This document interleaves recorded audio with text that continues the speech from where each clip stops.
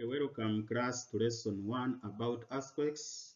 We are going to define an earthquake. We also look at causes of earthquakes, types of earthquakes, the structure of an earthquake. Then we look at measurement of earthquakes.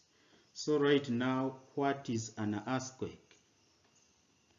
An earthquake refers the sudden vibration or shaking of the Earth's surface due to abrupt release of energy from crustal rocks. We all believe that under the ground we have crustal rocks and when these crustal rocks are subjected to great heat and pressure they develop stress. This great heat and pressure may come from hot spot or from molten materials called magma. And when these rocks develop stress, in a process of releasing this stress, earthquakes occur. The study of earthquakes is called seismology. Seismology is a branch of geology that deals with the study of earthquakes.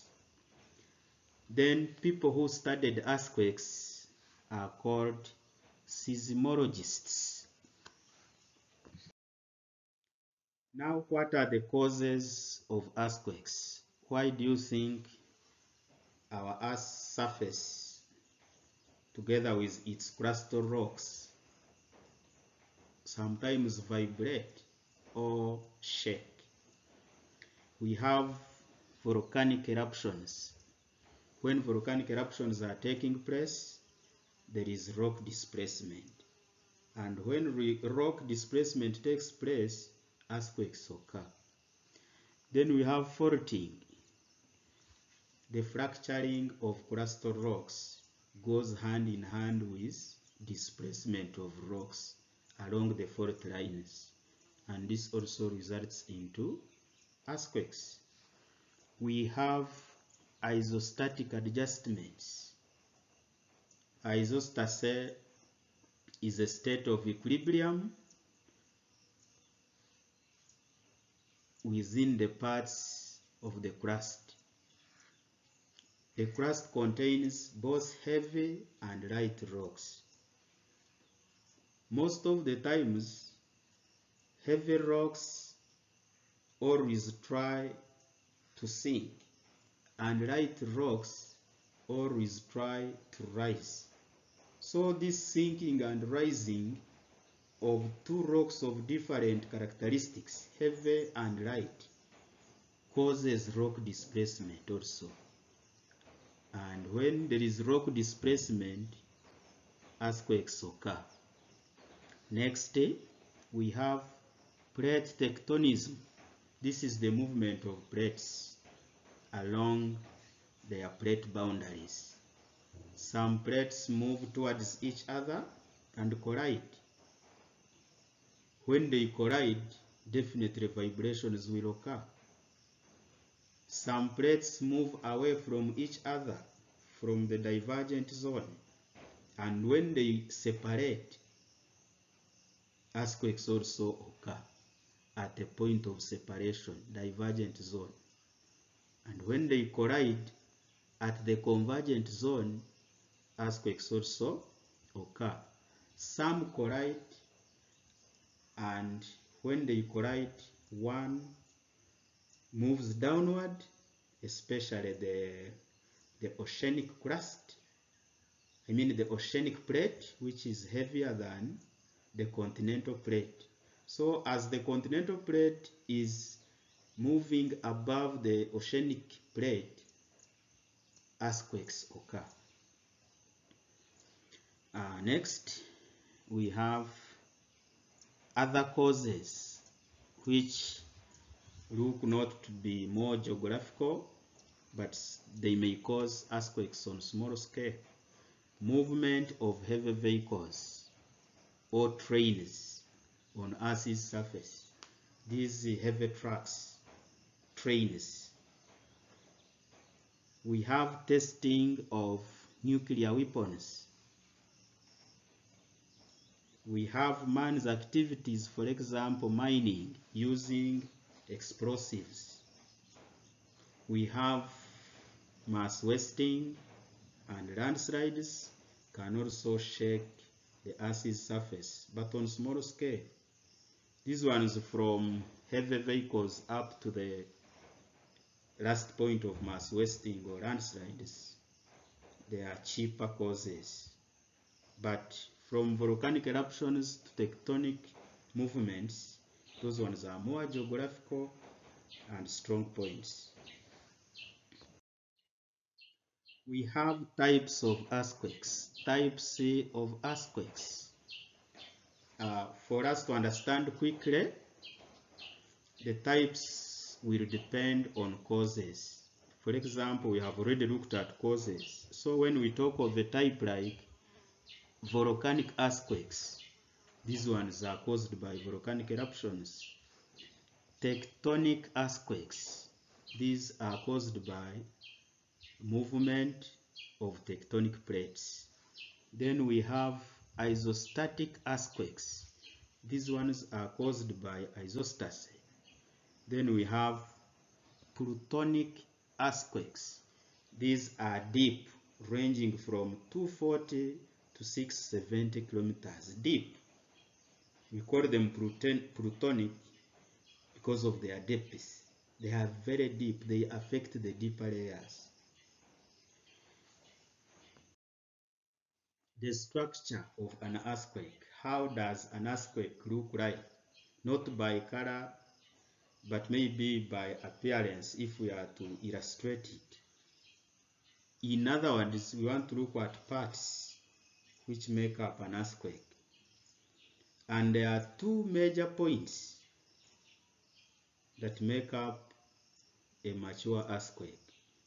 Uh, one, we have focus.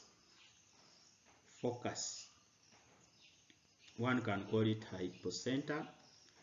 This is a point on the this is the point in the Earth's crust, in the Earth's crust, where an earthquake originates or starts from. It is a point under the ground. It is not exposed on Earth's surface. That's why we say in the Earth's crust, not on Earth's surface, where an earthquake originates. And we also have epicenter. This is a point on the Earth's surface where surface waves start from.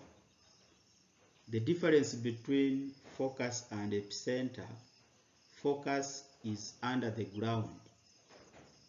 Then epicenter is on Earth's surface. And another difference is that it is from focus where body waves originate and it is from epicenter where surface waves originate. In summary, we have two types of waves, two major types of waves. Of an earthquake, we have body waves and surface waves. What are body waves? These are waves which originate from the focus and they affect the Earth's crust. They don't affect the Earth's surface. They affect the, the underground. They are internal. The internal rocks shake because of body waves and the external rocks shake because of surface waves. Body waves originate from focus, surface waves originate from epicenter.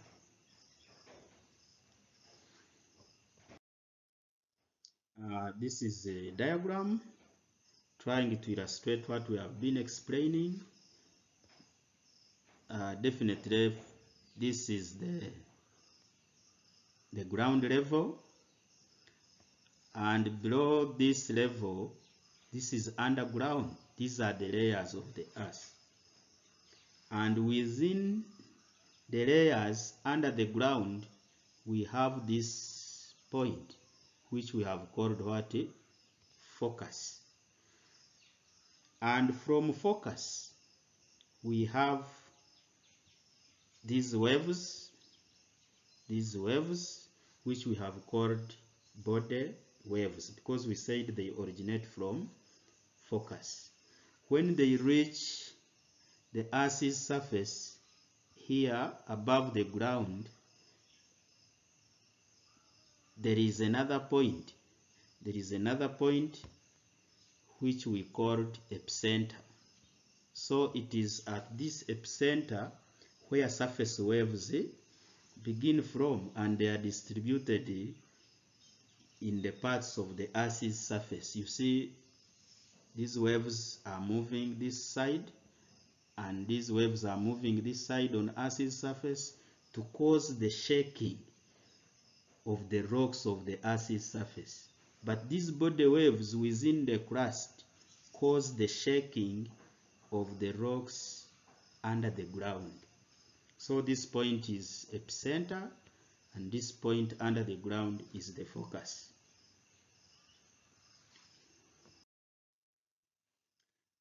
an instrument used to measure the intensity of an earthquake is called seismograph or seismometer. Seismograph is just a graph where the measurements are recorded, but an instrument is called what? Seismometer. Seismometer using a Richter scale.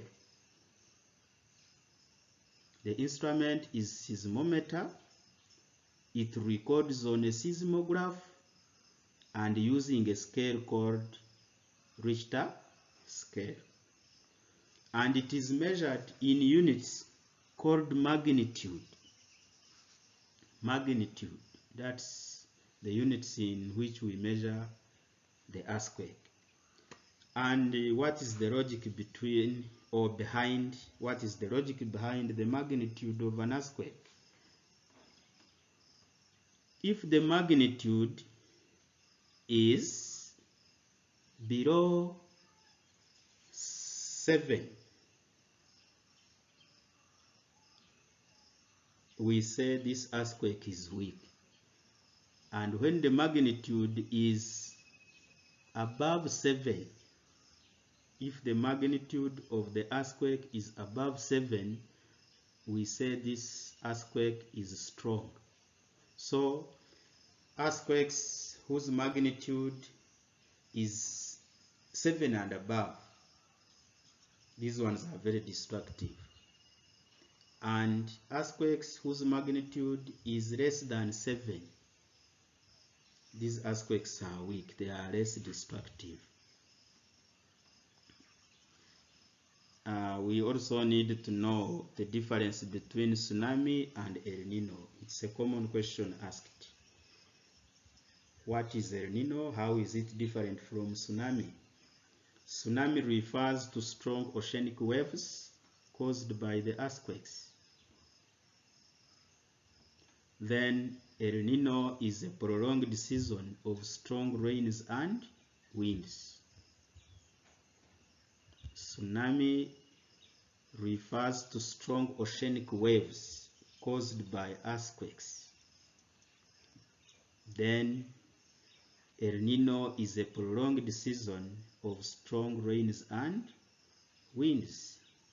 Thank you.